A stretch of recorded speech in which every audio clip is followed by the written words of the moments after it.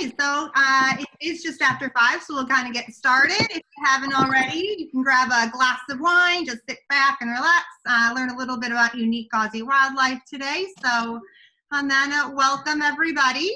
Um, thanks for joining us. This is our ongoing Travel Tuesdays webinar series. Um, so tonight we're just going to present a little bit about Australia and the unique um, wildlife that you can find there.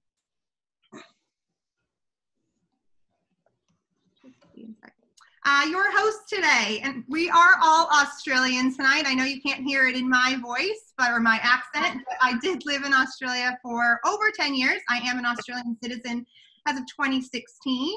Um, and then I'm also, my name's Audra, and I'm with Down Under Endeavours. Um, also with me tonight is Vanessa Massey. She's my uh, coworker and fellow travel designer. Uh, she is based in Chicago, um, but originally from Sydney.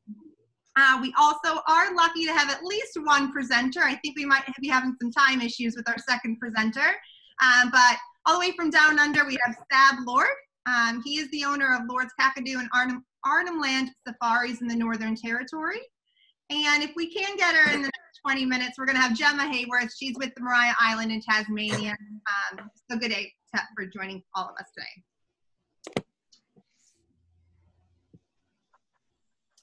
And just to kind of, I think we just uh, jumped over that slide, but just um, for some of you guys, just a little bit about us, because I do see some new names in here, which is pretty exciting. Um, just a little background about us. Uh, we are Australian owned for 22 years in the business this year. Um, we specialize in the South Pacific and really are the experts.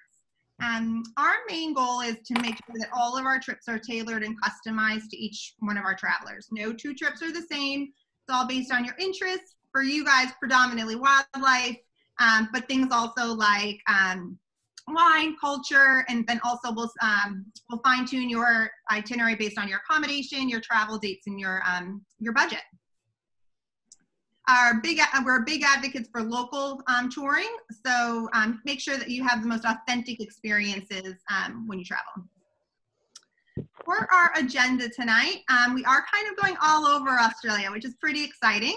Um, I'm going to kind of kick it off with the Great Barrier Reef and some marine life um, experiences that you can have there, but as well as talk a little bit about Hamilton Island and some wildlife there. Um, then Sab's going to talk a little bit about the Northern Territory and Kakadu, um, some of the national park wildlife and culture experiences you can have there. Uh, Gemma will talk about Maria Island Walk, the four-day walk um, that you can have in Tasmania. She also has some awesome videos for you guys. And then um, Vanessa will finish off with an update on Kangaroo Island and some of her experiences there. Um, just to kind of go through kind of the question and answer, uh, if you do have questions, please place them in the chat box on the right side of your screen. Uh, we'll make sure to answer them at the end. Um, also, we'll be recording this. So if you guys want, to watch this later or send it to friends, we'll get this off to you in the next few days as well. Uh, so let's get into it.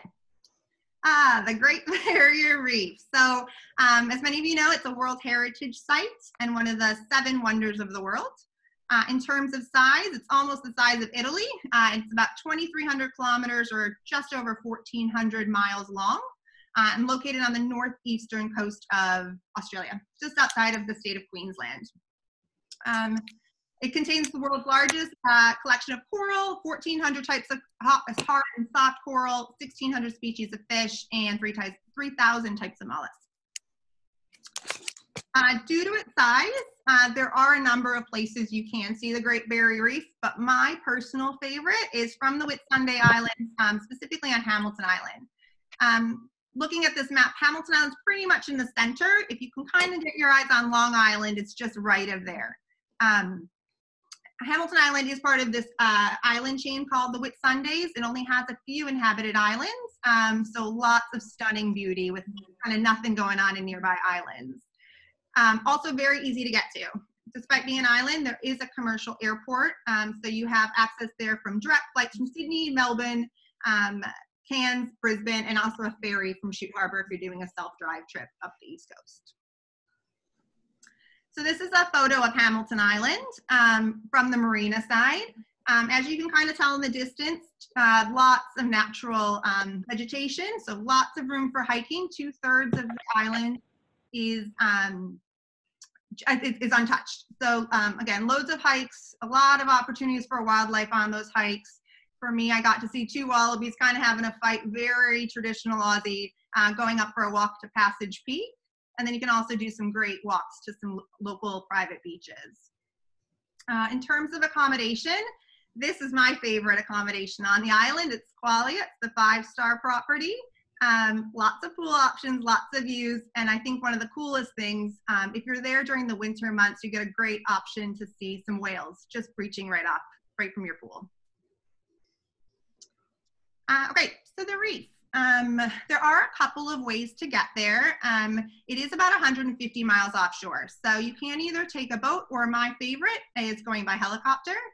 Um, the cool thing about the helicopter is that you do fly over some awesome, awesome scenery. Um, in the right-hand photo, um, that is the heart reef, so which is pretty iconic to this part of Australia. Um, it basically is a coral, coral that's shaped perfectly like a heart.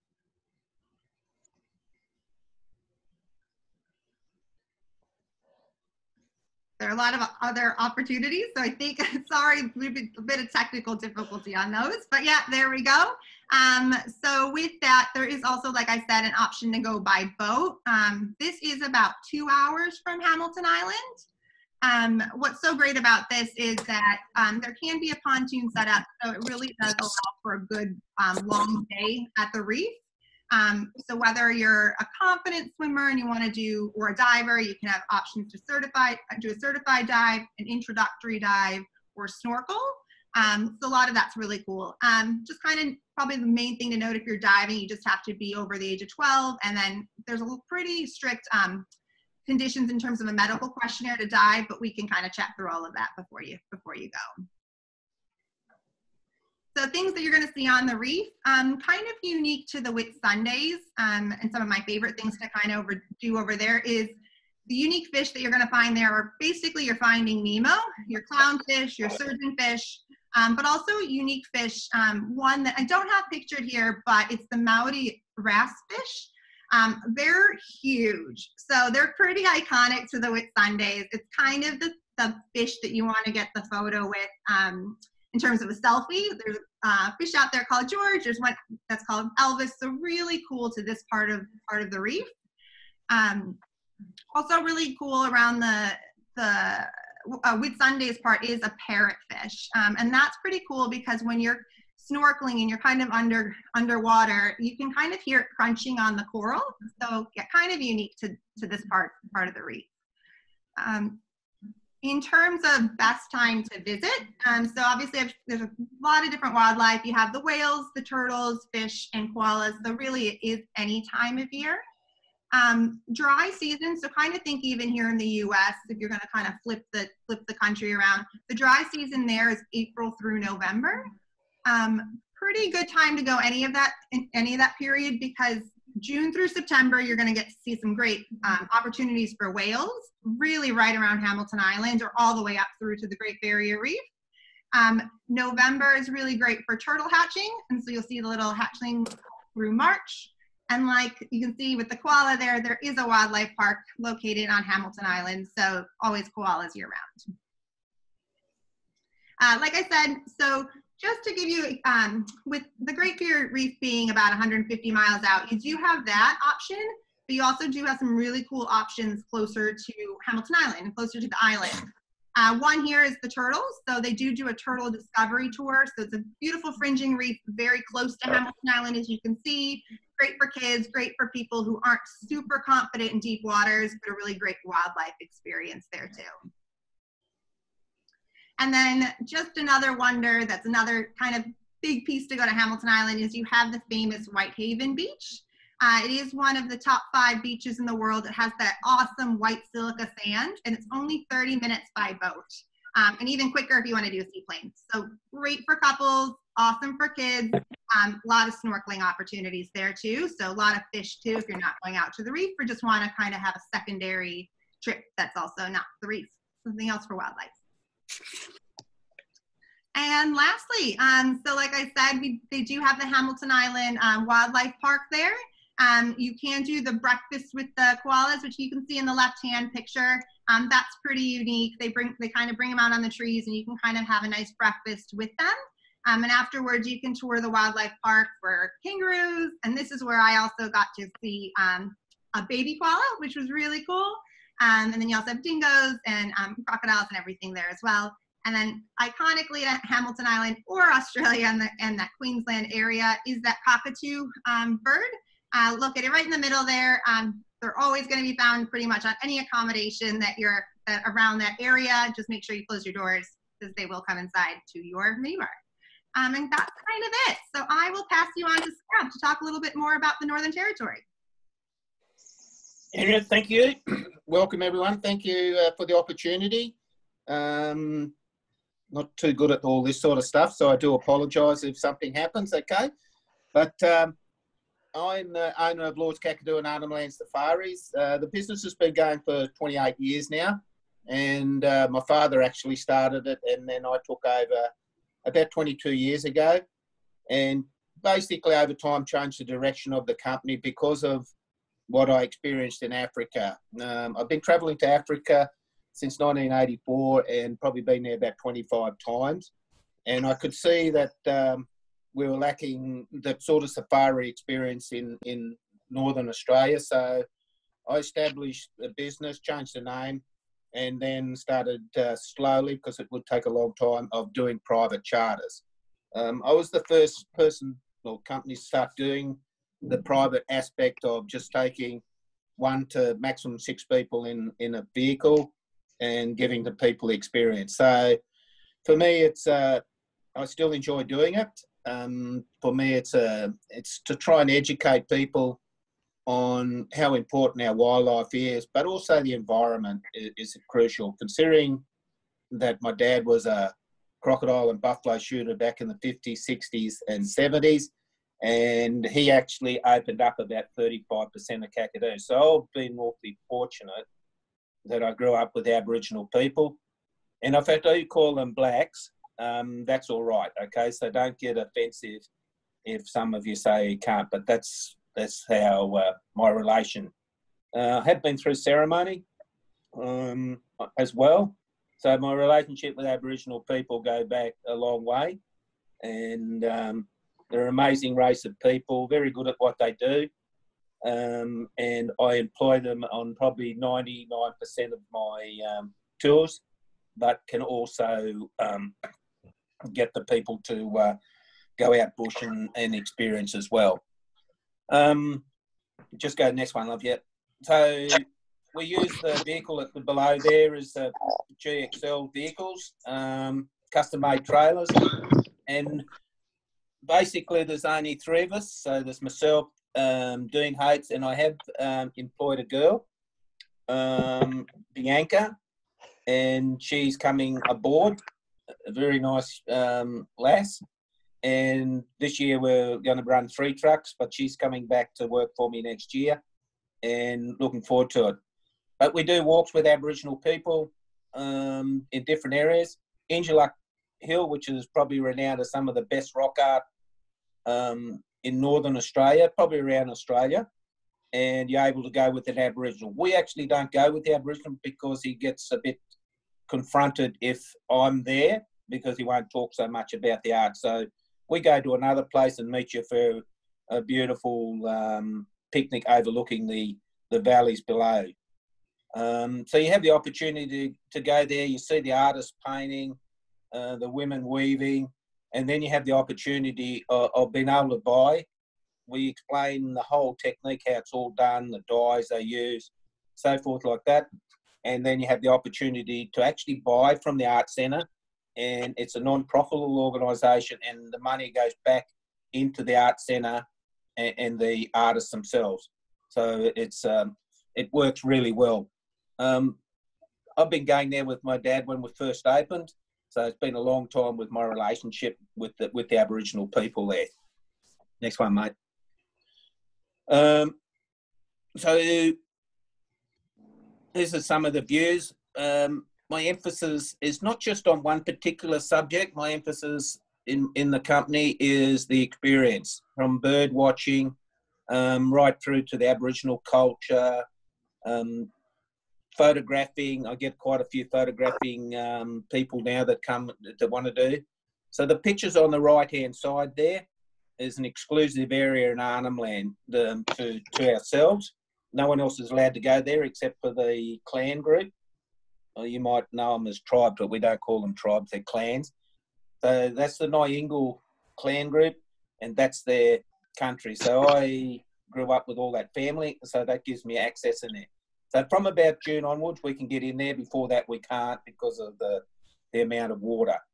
But um, photography wise, the amount of birds that we have, um, well over 280 species of birds, but also the crocodiles. We have two species of crocodiles, um, one freshwater, one um, saltwater crocodile. So it, it's a paradise for photographers with the landscape, as you can see the Arnhem Land escarpment there on the right hand side, which is anywhere between 1.5 to 2.4 million years old. Next one, mate. Um, so this is Yellow Waters. Um, we do use Yellow Waters, which is actually owned by the Indigenous people of Kakadu National Park.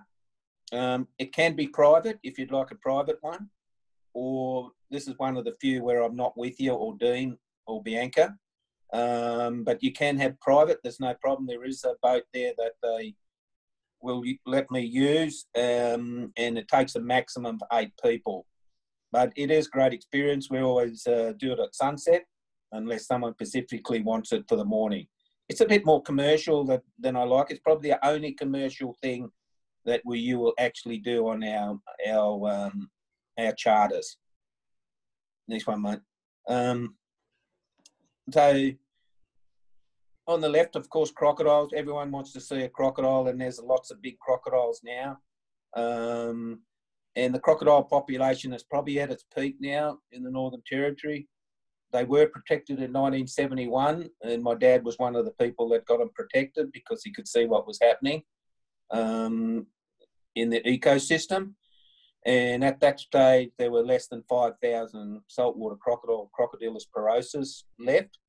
And now there's probably 100,000 plus. But big crocodiles now. Not, not uncommon to see crocodiles um, five, six metres now, um, more and more each year. On the right is um, airboats, and the airboats are used at Bamurru Plains, um, and I'll just talk a little bit about that.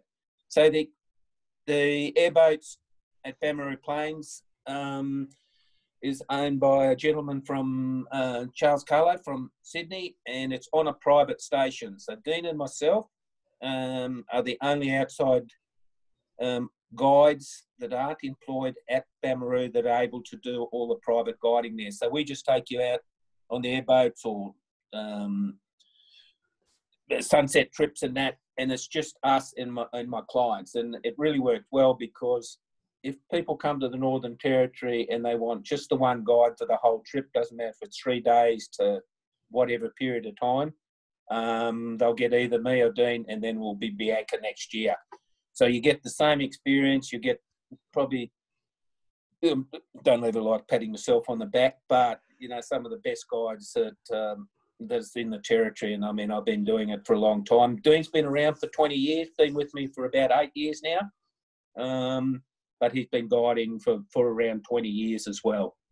Um, so it, it's an amazing experience at Bamurru. It's like stepping in the Okavango. So it was designed on an African experience a little bit, but it's an Australian experience. But the accommodation and the food and that is top notch. So you get a great opportunity to um, see what the top end is all about. And many times I've had people that cry.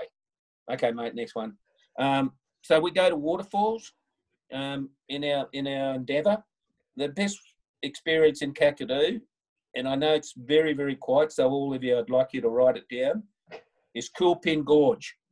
It's not really advertised that much. You need a permit to get there. There's only three of us that have permits to go there. Um, not allowed to go on weekends or public holidays because that's for the the local people. Maximum 40, but last year the ones I did there, we never saw anyone else. It's a bit of a walk, so you can't not be able to walk, but um, the photography in that there is just amazing and beautiful swimming. These couple that you see here, the top ones is Maguk or Gunlom Falls. It can get a bit um, crowded up there. So um, I just warn people about that. That's why I try and push uh, Koolpin if you're active. Um, but we go to a number of waterfalls because in Arnhem Land, uh, there's only one place which um, you're able to have a swim, and that's at Davidson, but that runs out about August.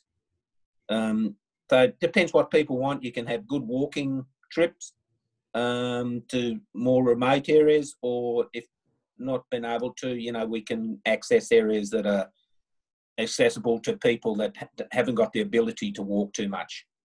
Next one, mate. Um, so I do have different um, trips on my website. They're all suggested itineraries um, from three days to I'll do three weeks, um, which the longest one I've ever done is 23 days. Uh, a French couple, and they did the top end and then the Kimberley region with me. Um, so we do do the Kimberleys as well, um, but you've got to be quite active to do the Kimberleys because there's more walking involved there, A bit more driving as well because of the huge distances you're doing. Um, I will not go to the Kimberleys. So right this, I will not go to the Kimberleys in July. Um, school holidays here and too many people um, with it. But again, um, the three day can be either um, accommodated or camp. There is a shared one next year, but it's filling up really quick with charters. So I don't know how many dates I'll have left um, the way it's going at the moment. So what I will do is as, as the season goes on, I will delete the ones that have already gone because it's um, I haven't sold one shared one. They're, they've all been sold as private charters, so um, that people want. And next one, mate.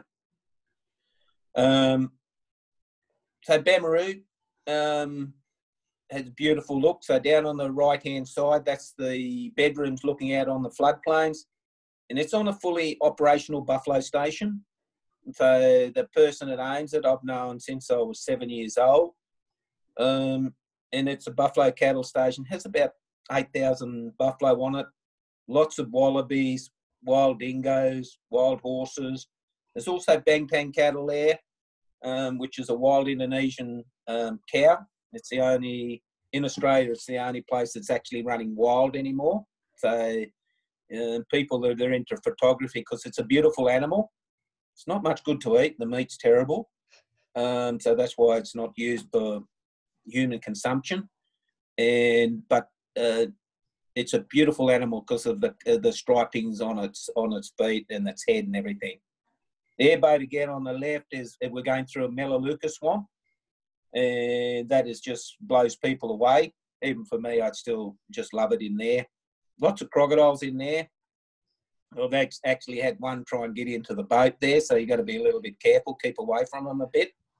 And up in the right hand corner is a Leichhardt grasshopper. It's the rarest grasshopper in the world. It's not that smart. Um, it lives on a, a, species called Pityrodia, and when it eats that, uh, it starves to death. Um, but it's really important in Aboriginal um, culture of what it represents. So some years we see them. Now, the most places you'll see them is the Davidson's Arnhem Land Safari Camp. Um, and then other years you won't find them at all. So it depends on when they um, hatch because they uh, lay their eggs in the sand. Um, the other ones are just yellow waters and a good photo of a crocodile I took no, quite a few years ago. And that barra is about 95 centimetres in his mouth. All right, mate. Um, yep. So here's our bird life. These are all my photos. Um, I love photography. So if I do get uh, people that come with their big lenses and so forth, I take all my gear as well because we just get on so well. Um, so the front is a white-bellied sea eagle. It was called a white-breasted sea eagle, but uh, people got upset about that, so they changed the name to it. And that's a blue-winged kookaburra up in the top uh, only found in the tropics. There's 12 species of kingfishers. It belongs to the kingfisher family in Australia, but it can't laugh. And it sounds like it's had too many red wines the night before, okay? Because it just can't laugh. But beautiful bird. I've got them around my camp. I have a whole family. And over the years, they'll be miss, missing me this year I've worked out who the dominant male is and the juvenile male. Uh, it's quite amazing to see the hierarchy in, in the in that particular family. The magpie geese is the one that's landing. Um, there's about 3.5 million of them in the tropics. It's one of the most favoured food by the Aboriginal people when they get fat, and they know when they get fat because um, at the time, and it dictates their uh, cycle within Aboriginal um, calendar because they have six uh, calendars where we are, and they wait until they get the what we call water chestnuts, which most of you would have eaten in some form or another in Chinese food. Um, they dig down and get it. Uh, that's a jacana or a Jesus Christ bird on the left. You can see the size of his feet. Um, so he looks like he's walking across the water. And the females is a lot bigger than the than the male, and it's one of the same as the emu. The male actually brings up the young. They have four, and then you've got uh, plume whistle ducks, which are the bottom ones. Um, um, this is a jab, jabiru or, or, stork, which is of course named after a South American thing. Um, the female has yellow around its eyes, and the male, is, as this one is here. Again, we're awfully fortunate that, at Davidson's. I have a great working relationship and, uh, with Max when he was alive. Um, we were the only company again allowed to do all our guiding. We have our own vehicle there, boats. So we, because it's bigger than Bamurru, there's 20 lodges there, rooms. Um, we find out where all the others are going and we go the opposite way. We never ever go where the groups are going. So we just keep everything. And then um, one night there, or you can go for minimum is uh, two night stay, but we do do three or four because there's enough to do. Um, but we do have sunsets out in the Billabong, which is just incredible um, during the thing. I mean, some of the best sunsets that you will ever get is actually at Davidson's with the with the escarpment in the background and the overlooking of the um, the floodplains. Can do fishing there as well. Um, July is not a good time, but um, before that is not bad. Um, and then towards the end of the year, but we put them all back. Um, we don't keep any. And the fish used to once upon a time, but now because of um, important to keep the population up. This is some of the escarpment in Arnhem Land. Uh, again, that's the vehicles that I use. I've actually got a brand new one sitting in a shed in Darwin that's done 3,000 kilometres, and that's where it'll sit until next year. Um, but that's some of the escarpment that we will walk in. Um, so it gives you an idea of um, the sort of terrain that we do walk over. And as I said before, it's not about how fit you are, it's your ability. Because I have taken people who are uh, uh, in their 70s but fit as Mallee Bulls. But then I've taken people who are in their 30s and they've just had one too many beers, um, unable to walk. So it's up to the ability of the people that can do it, um, which is important. But um, with it, it gives us the opportunity at Lord Safaris, go to the next one, love. Um, at Lord Safaris is that we have access into areas that no one else is able to. This is not a really good picture. I was getting new ones this year, but this is my camp, but you can't see those tents anymore. They've all been rebuilt two years ago, all new covers, um, and I planted about 100 trees in there. And we have um, a big eating house everything's cooked on the fire still. And I do have a camp host these days. So I started two years ago. So G makes the beds, puts the towels, makes sure everything's nice and tidy, and helps setting up the um, the d- dinner situation and so forth like that. And I love my camp um, because it was built by the family, and um, there's a lot of wildlife around there. I do have cat traps to catch any feral cats because that's the big issue in Australia is feral cats more than anything else. And um, we're able to sleep 14 there. They all have solar. And as I said, doesn't look like this anymore. You wouldn't even recognise if you had the photos now. Um, but they have solar in there. They have fans, which you don't need fans um, June, July, August, because it does get quite cold. Like there last year, it got down to seven, but it's a cold seven.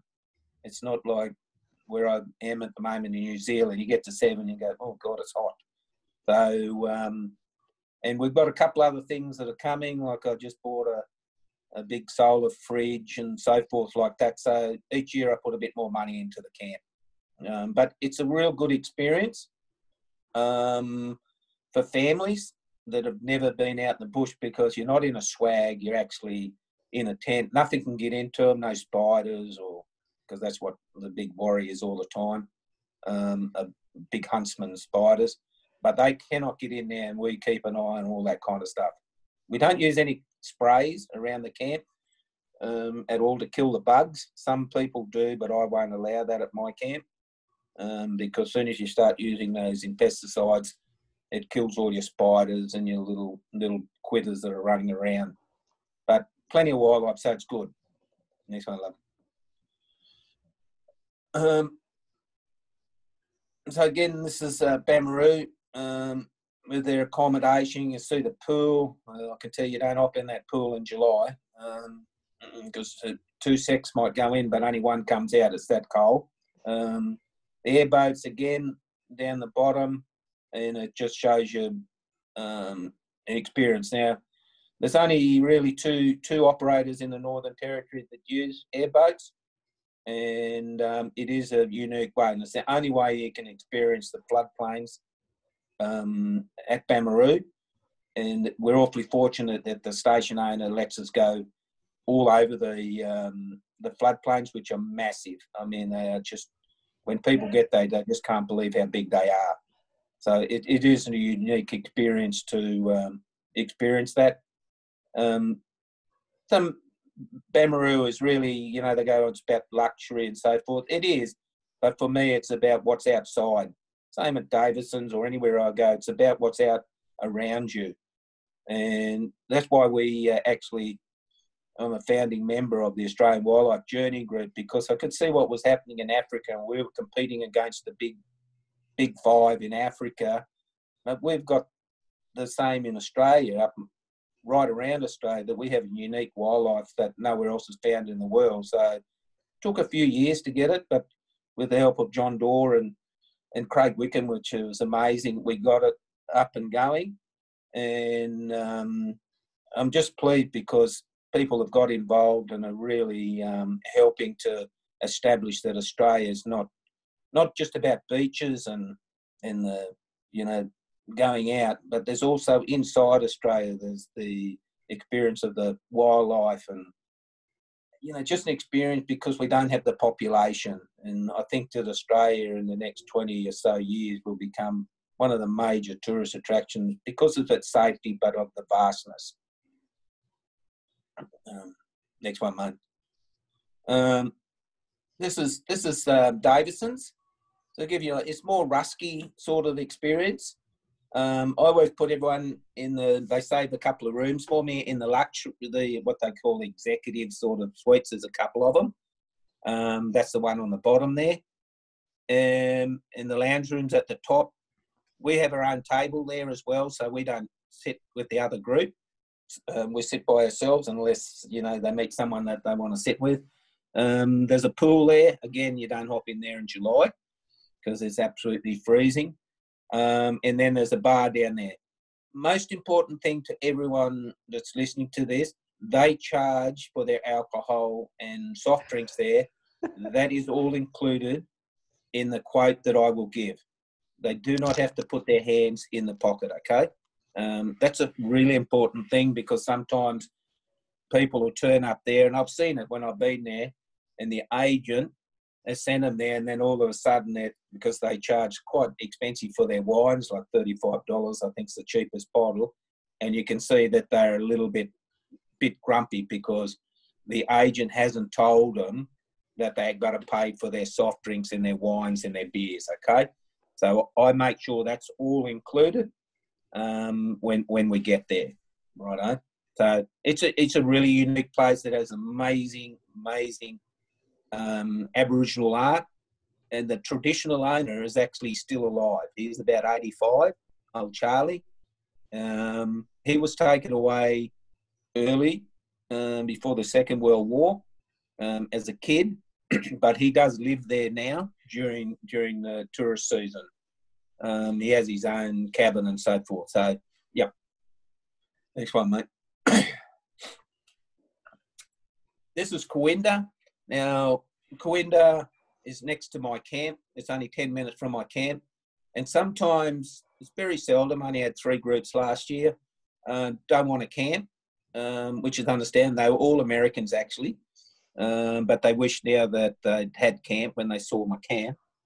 Um, but this is the the Cooinda itself. So you can just basically put these in to show you what the rooms and that look like.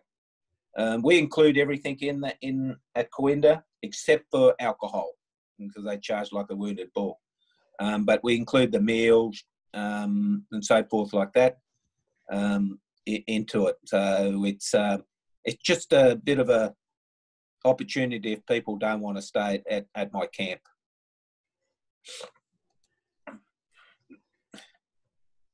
So just to wrap it up, um, I thank you for everyone. I mean, I'm not too good at this sort of stuff. So I've probably forgotten some information I should have passed on. But um, we we can do anything that your clients want. I've done helicopter uh, safaris across the top end and in the Kimberleys, um, where people just go in helicopters.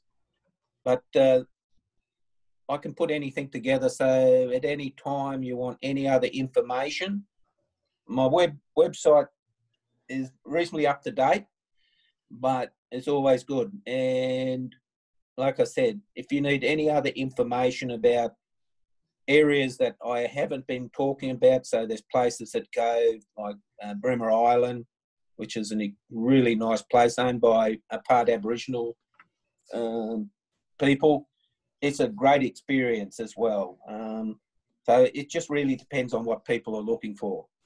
Anyway, I'd like to thank everyone for listening, uh, and I hope you a little bit got a little bit out of it. Thanks, team. Thanks so much, Sab. Um, and I do think Gemma's here, so I'll pass it on to Gemma to talk a little bit about the Maria Island Walk.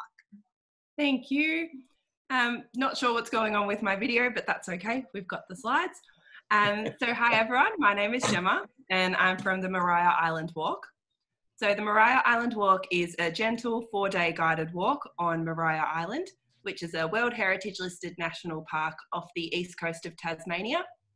So we take small groups of just 10 guests and two guides to experience rare wildlife, beautiful scenery, excellent food and wine, and fascinating history. so next slide, please. So every day we walk along beautiful beaches, through tall forests, and see stunning scenery everywhere we go. The walking is quite gentle and it's done on flat, well formed trails and hard sand beaches, so it's suitable for anyone with a moderate level of fitness. For people wanting a bit more of a workout, we also have the opportunity to climb one of the two mountain peaks on the island. And next slide, please. So each night we stay in exclusive accommodation that's only used by guests of the Maria Island Walk. For the first two nights, we stay in private wilderness camps next to the beach, where you wake up to the sounds of waves and bird calls in the bush, which is really beautiful. The camps are eco friendly and they have clean composting toilets and bush showers. On the third night, we stay at Bernacchi House, which is a beautifully restored heritage home in the convict settlement of Darlington, so guests have a few more creature comforts on their last night on the island. Next slide, please. Yeah. So one of our most highly complimented aspects of the walk is the food and wine. So most of our guests can't believe they're eating such incredible restaurant quality food on a remote island. Each night we enjoy three course gourmet meals by candlelight, which are matched to fine Tasmanian wines and local beers. So the walk is completely all inclusive, so you can have as much as you want, but you do need to be able to walk the next day. So, as well as dinner, we have breakfast, morning tea, lunch, afternoon tea, and often a cheese board before dinner, too. So, nobody ever goes hungry. Next one, yep. So, the reason most people come to Maria Island and the reason we're all here today is the wildlife. So, Maria Island is known as the Noah's Ark of Tasmania and it's one of the best places if not the best place, to see wombats in the wild. So this video was taken by one of our guides this season of a mum and a baby wombat. And it's the kind of experience that our guests get to have every single day, which is really special.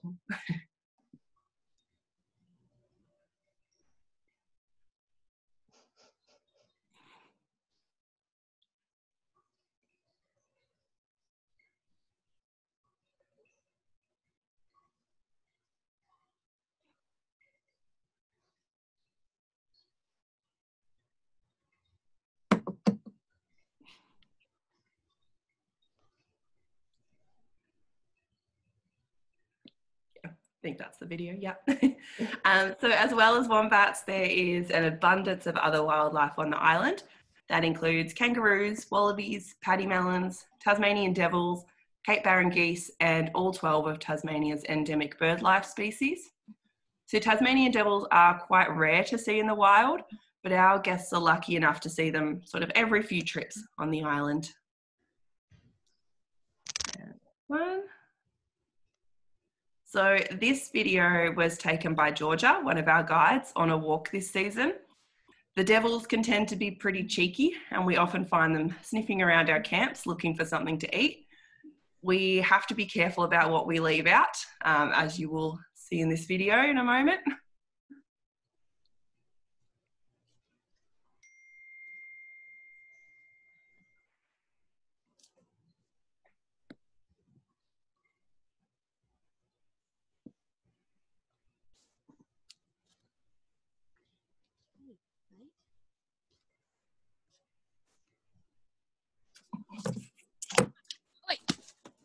You dare. So yeah, they're pretty cheeky. You can't leave your things out because the devils will steal them and will eat them. Um, but that is pretty much everything from me. Thank you for your time, and we hope that we'll meet some of you on a walk soon. I'll pass over to Vanessa. Thanks, Gemma. Um, so good day, everyone. I'm Ness, and I'm here to talk to you a little bit about my experiences on Kangaroo Island. Uh, so Kangaroo Island sits off the coast of South Australia and is Australia's third largest island. So it covers an area of about 4,400 square kilometres. Um, so think of an area about six times the size of Singapore. To get to Kangaroo Island, it's a 45 minute flight from Adelaide, or you can take the ferry. We typically recommend about two to three nights on the island, and there's a range of accommodation options from hotels, hosted B&B stays, to self-contained villas and houses.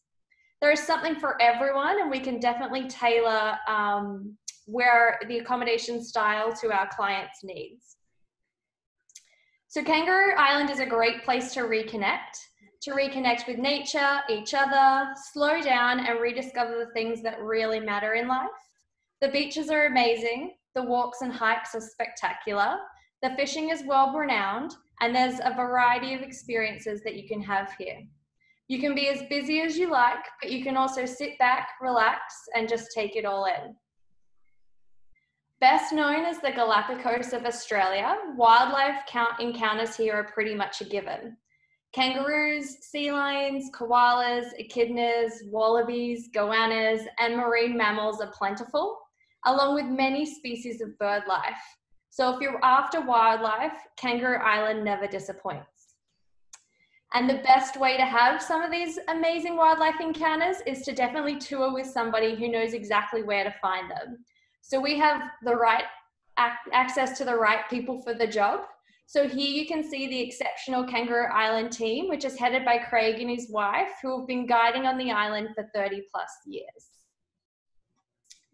So whether you're looking for small group touring, private touring, we can tailor a range of different options to suit your needs. Some of the highlights are going to include a walk down a country track through tall eucalyptus trees where koalas snooze overhead or wake briefly for a feed. At Seal Bay Conservation Park, you can take a private tour among Australian sea lions on a beautiful sandy beach. Here you can watch the pups nursing or playing in the surf. You can see the old bulls bearing scars of territorial disputes, and you can learn about their unique breeding biology. You can explore the massive natural shapes of the remarkable rocks. You can seek out kangaroos, which are on the smaller side than the eastern greys, which you'll find on the mainland. Or you can head to Pennington Bay, which is the narrowest part of the island, and that gives you access to Southern Ocean Beach, which is a popular fishing and surfing spot. There are also plenty of food experiences to have on the island, such as the farming region of Cygnet River. This region produces primary food sources, including barley, wheat, oats, lamb, and beef. So here you can learn about the agricultural history of Kangaroo Island. You can check out Kangaroo Island Olives, which is a father and son duo, and they produce olive from, olives from a grove of 5,000 trees. You can stop at Clifford's Honey Farm, and they specialize in producing honey from Kangaroo Island's native bees. For those wine lovers among us, there are a few wineries on the island which produce a premium range of red, reds and whites, so you can definitely stop in and have some wine tastings. And for those of us that like the harder stuff, you can visit Kangaroo Island Spirits. Um, they've won numerous awards globally, including New York and London, for their range of beautiful gins and liqueurs.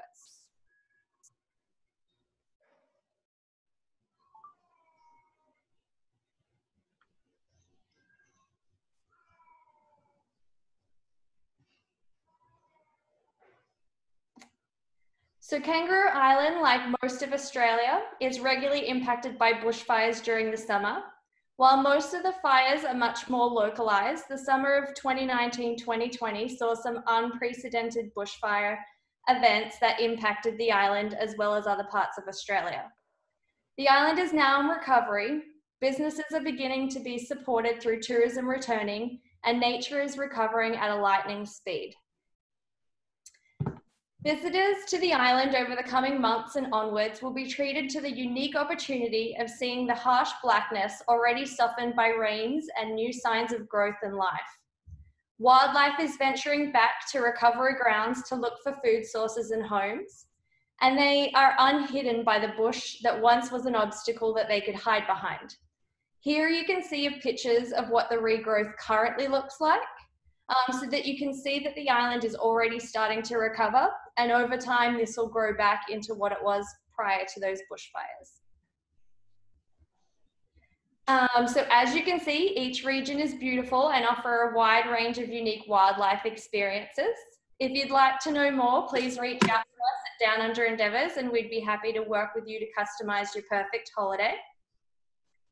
Our next Travel Tuesday is going to be on August 25th um, and we're going to be recovering remote wilderness experiences in New Zealand. So we'll be sending out another e-blast closer to the date if anybody's interested in joining us for that one. Um, so thanks everybody for joining us this evening and a special thanks to Saab and Gemma for joining us all the way from Australia. Um, and if you have any questions, just pop them in the chat box and we can answer them now. Um, otherwise, have a great evening, guys, and thanks for tuning in.